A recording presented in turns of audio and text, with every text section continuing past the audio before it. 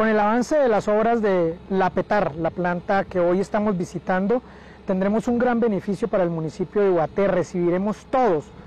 por primera vez, todos los vertimientos reales. Actualmente se recibe el 50%, con la puesta en escena de esta obra se recibirá el 95% de todos los vertimientos que se efectúan en el municipio de Iguaté, mejorando la calidad de vida y el tema ambiental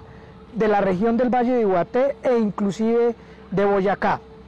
Nosotros hoy, con una obra que supera los 33 mil millones de pesos, podemos hacer un análisis de cómo vamos a mejorar el medio ambiente y cómo vamos a mejorar nuestras fuentes hídricas que recibían en el pasado al río Sutatausa sin,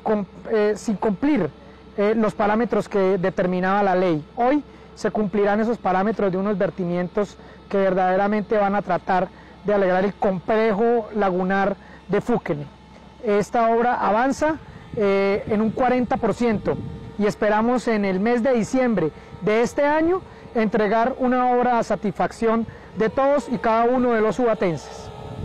Los mayores beneficios de esta planta de tratamiento van a ser la reducción de la carga contaminante sobre el río Suta, que es afluente a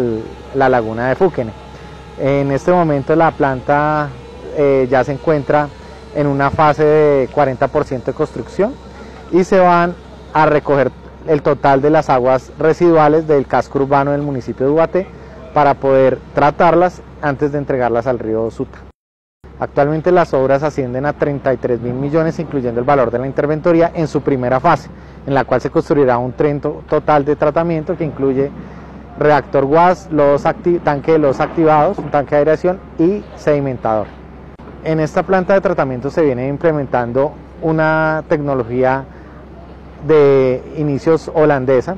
que es el tratamiento a través de los activados. Este tratamiento se ha implementado en todas las plantas actuales que trata la CAR, como Zipaquirá, Fusagasugá, Mosquera, pero adicionalmente a esto, en vista de los altos costos